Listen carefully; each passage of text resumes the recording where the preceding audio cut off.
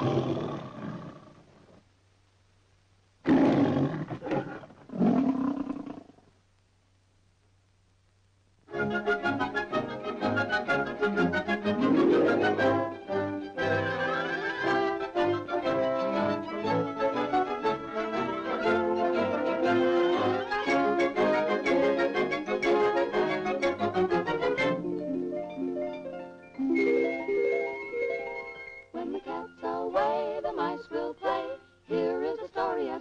One day while the cat kept her vigil in that quaint little room. The old kitchen kettle sang a merry little tune.